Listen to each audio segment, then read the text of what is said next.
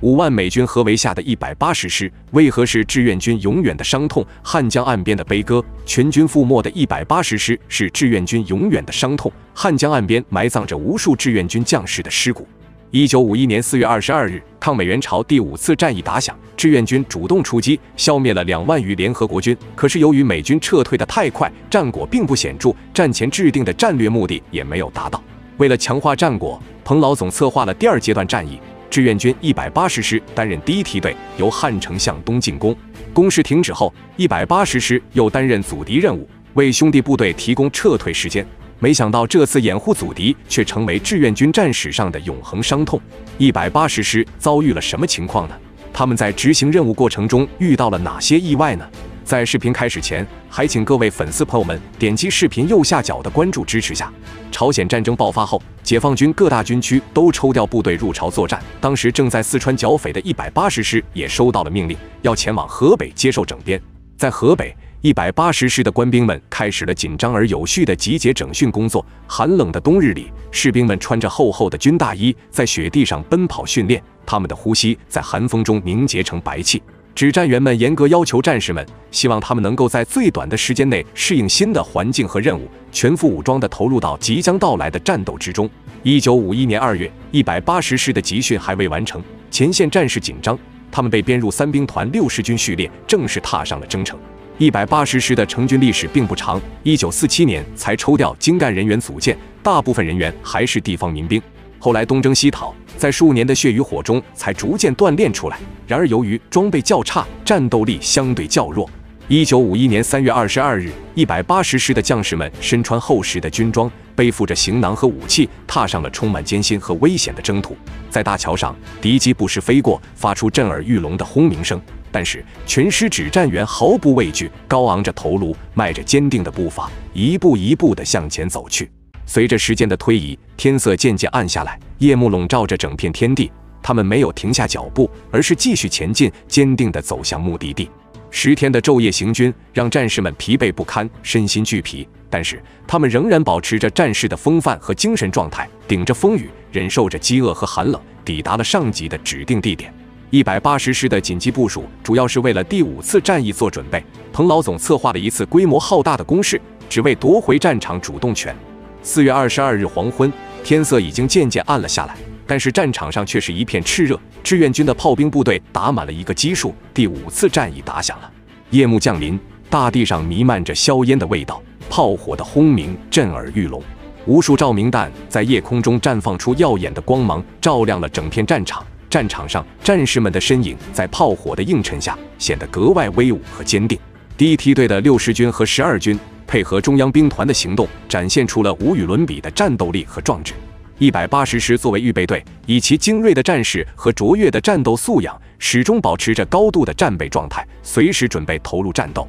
在向纵深穿插迂回的战术指导下，我军展开了有序而有力的冲锋，犹如铁蹄踏过平原，所向披靡。他们不畏艰险，不惧危险，用自己的血肉之躯书写着胜利的传奇。到了二十七日。第一阶段的战斗取得了巨大的成果，将来不及撤退的联合国军部队吃掉了很大一部分，但是还是有很大一部分撤退到了后方。为了打击敌人的有生力量，彭老总决定发动第二阶段的战役。一百八十师被批准担任阻击任务，必须要拦住美军精锐的第十师。一百八十师的战士们整装待发，士气高昂，满怀信心地投身于这场决战之中。可是因为战前布置，六十军的另外两个师都被加强给了其他部队，一百八十师要独自据守巨大的战略纵深。势单力薄的一百八十师要如何完成任务？他们会遭遇怎样的困难呢？被五万美军团团包围的一百八十师，永远留在了汉江岸边，成为志愿军永远的伤痛。一九五一年五月十六日，一百八十师们迅速集结，队伍井然有序地向北汉江前进。他们要拦住美军的增援部队，为其他部队的进攻提供时间。以不到一万人的轻步兵硬磕装备精良的美军，一百八十师的将士们用自己的血肉之躯筑起了一道道铜墙铁壁，牢牢阻挡了美军的脚步。阻敌任务完成后，一百八十师要撤退到何方呢？他们为什么会遭遇被美军包围的命运呢？在第一阶段的战斗中，联合国军撤退的速度很快，留下了空荡荡的防守阵地，而我军调动的部队数量太多，一时间拥挤在几处狭窄的山岭之间，毫无纵深可言。朝鲜东部山脉的地形也给我军造成了极大的困扰。这些山脉的走势对我军十分不利，很难实施穿插战术。无论是在攻击还是防守中，对我军都带来了巨大的挑战。同时，美军经过前面数次的吃亏，也逐渐了解到志愿军的战术缺陷，那就是我军不具备控制空中权力的能力，这使得他们可以轻松封锁我军的运输线。面对这一局面，我军只能让进攻部队尽可能多携带物资弹药，可是总量消耗依然只能维持在一周左右，在之后就只能撤退。美军发现了志愿军的这一弱点后，很快就加以利用。因为每次我军进攻时，他们会有意后退，让出阵地，直到我军随身携带的粮食快吃完了时，他们才会发动大规模的反攻。这一次同样如此，美军在志愿军发动第一次攻势的时候，就迅速后撤到安全地方，诱使志愿军继续向前进攻。然后美军在志愿军招式用老之后，才从容收复失地。彭老总意识到了美军的动向，前线也不能在短时间内取得重大战果，于是下令撤退。每个兵团留下一支部队阻敌。一百八十师再次接受到了上级的命令。在接到这个重要任务的那一刻，一百八十师的官兵们都心怀使命，他们知道自己肩负着重大责任。由于兄弟部队都被抽调，一百八十师要负责近三倍的防区守卫，这注定是一场异常艰难的阻击战。美军进攻的兵力和装备都非常强大，坦克、火箭炮等重型武器密密麻麻地布置在了战场上。面对如此强大的敌人，一百八十师的士兵们紧张，但并没有惊慌失措，而是以昂扬的斗志迎接了敌人的进攻。整个战场上弥漫着硝烟和血腥的气息，敌人的炮火不断地打在战士们的头顶上，土石飞溅，但战士们却没有丝毫的退缩。美军集结全部力量的进攻不容小觑，一百八十师的每个阵地都要面对三倍于自己的敌人，大量炮弹在阵地上爆炸，志愿军战士们付出了大量的牺牲。阻击战打了两天，一百八十师牢牢守住了阵地，没让美军快速机动的策略成功，也为后方部队的撤退争取到了足够的时间。这个时候该考虑撤退的事情了。可是因为志愿军的部队人数太多，所处的地域又太过狭窄，因此在传达命令的过程中出现了混乱，导致前后不一致的情况。这种情况对于战士们的安全和撤退计划的执行都带来了不利影响，是日后压倒一百八十师的第一张多米诺骨牌。根据智思的意思，全军将于五月二十三日后撤，但是由于道路紧张，让三十九军提前一天撤退，避免拥挤。这道命令在平日里没有错，但是在当时的高压环境下，意思很容易出现曲解，而电台里兵荒马乱，无法确认命令真实含义，所以兵团一级在给下面部队转达命令的时候，发生了第一次意外。由于命令的模糊性，将领们会根据自己的理解和判断做出行动，而这与实际的命令意图相去甚远，导致了对命令含义的曲解。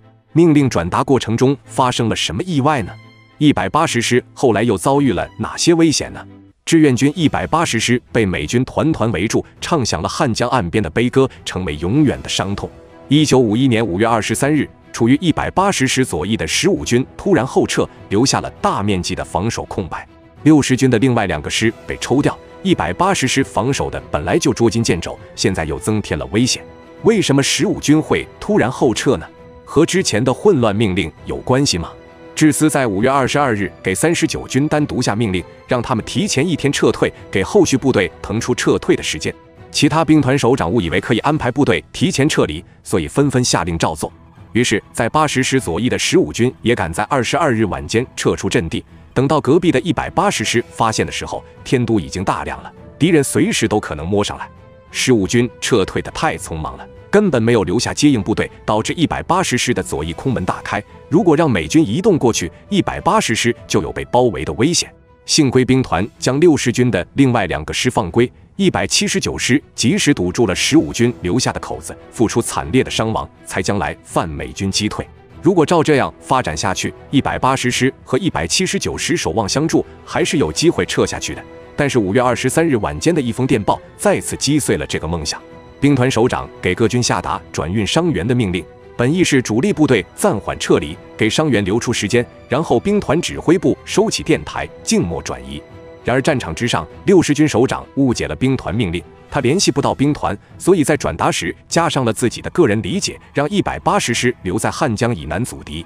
于是第二个意外发生了。按照本来的路线，一百八十师应该撤退到春川附近布防，可是现在他们要守在汉江南岸，直到伤员全部撤离。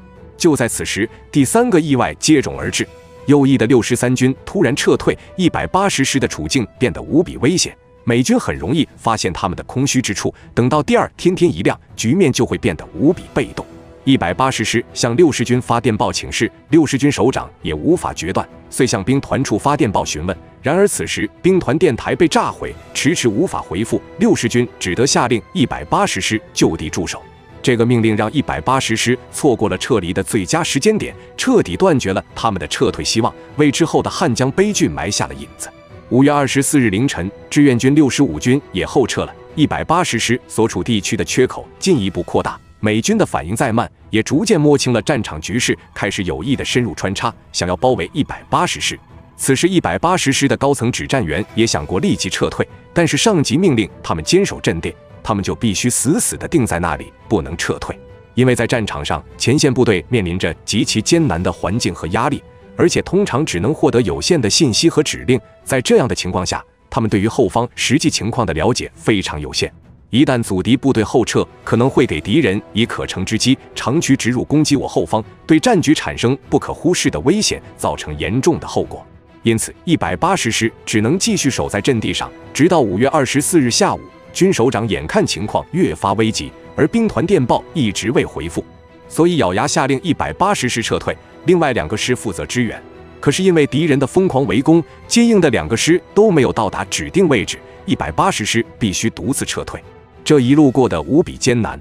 等到二十六日黄昏，部队分批突围，情况更加恶劣。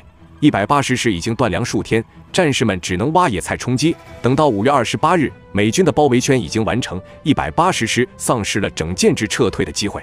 无奈之下，师首长下令分散突围。在朝鲜这种人生地不熟的地方，分散突围意味着失去组织，整个师完全失去了战斗力。